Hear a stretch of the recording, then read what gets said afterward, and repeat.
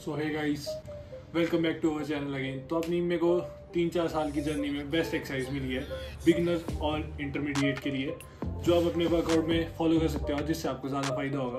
तो जैसे वो होता है ना कि सिंगल मसल करें डबल मसल करें या फिर पुश पुल लेग की फॉलो करें तो मैं आपको बताऊँगा आपके लिए बेस्ट एक्सरसाइज क्या हो सकती है और मैं क्या करता हूँ। तो आप उस हिसाब से आइडिया ले सकते हो।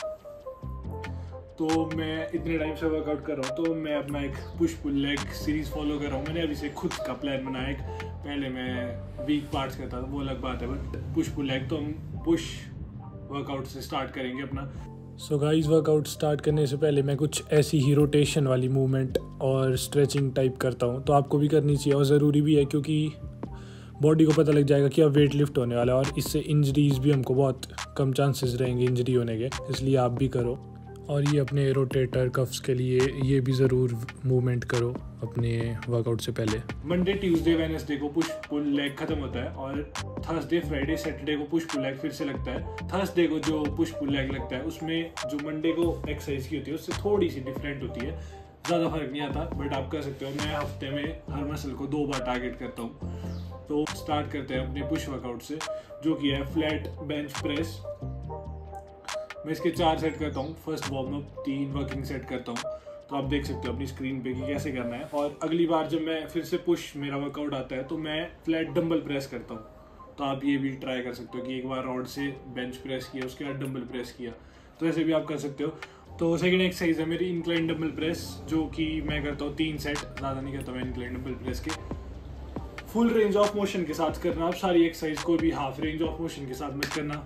बेटर माइंड मसल कनेक्शन के साथ करना, जिससे आपको अच्छा मसल माइंड कनेक्शन हो और पूरा फील करके फेलियर रेट करना और अच्छे से रैप्स निकालना।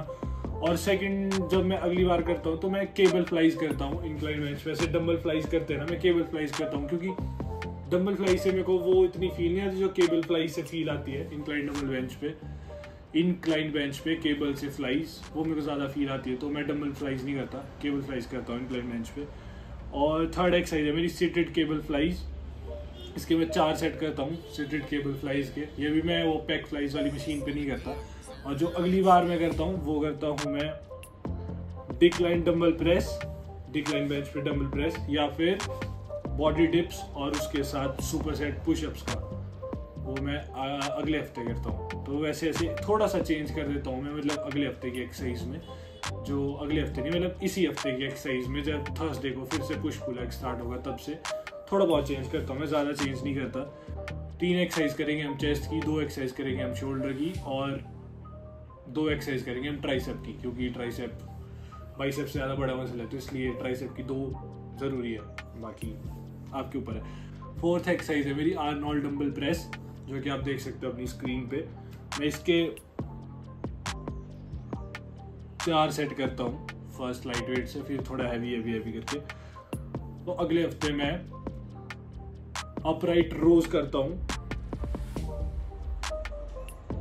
और अगर अपने फ्रेम बड़ी करनी है ना, अपने शोल्डर्स और पूरी बैक की तो फिफ्थ एक्सरसाइज सबसे इम्पोर्टेंट है। ये तो करना ही करना अपने वर्कआउट में।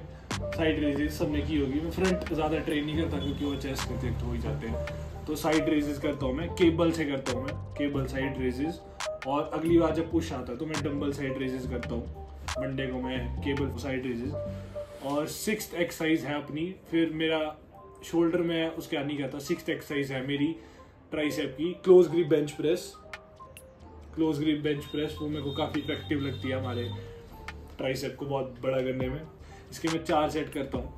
फ़र्स्ट ऐसे ही वार्म अप टाइप उसके बाद तीन वर्किंग सेट तो आप ये ट्राई कर सकते हो। तो आप स्क्रीन पे देख सकते हो भी। और अगली बार जब मैं सिक्स एक्सरसाइज करता हूँ थर्सडे को पुश सीरीज़ में तो वो करता हूँ मैं स्कल क्रशर्स वो आप भी चेंज कर सकते हो, पर मैं पुश पुल लेग सीरीज़ ही बनाऊँगा सिर्फ़। और लास्ट एक्सरसाइज में करता हूँ अपने ट्राइसेप को शेप देने के लिए। रो पुश डाउन जो कि आप स्क्रीन में देख सकते हो। रो पुश डाउन के करता हूँ मैं तीन सेट जो मेरे ट्राइसेप को अच्छे शेप देती है। और काफ़ी इफ़ेक्ट करती है और काफ़ी अच्छी शेप देती है मेरे ट्राइसेप को। रो पुश डाउन तो पूरे वीक में अपने हर मसल को दो बार टारगेट करता हूँ। तो आई होप आपको मेरी वीडियो पसंद आई होगी। तो अपने फ्रेंड के साथ शेयर करूँ ताकि उसको भी अपनी फिटनेस जर्नी में हेल्प मिले और वो भटके ना किसी प्लान के लिए। तो नॉर्मल सा प्लान है, कोई वो खतरनाक प्लान ही। आप भी ये फॉलो करो और ट्राई करो और मुझे कमेंट करके बताओ कि कैसा लगा। मैं मिलता हूँ आपसे फुल वर्कआउट के साथ, तब तक के लिए बाय बाय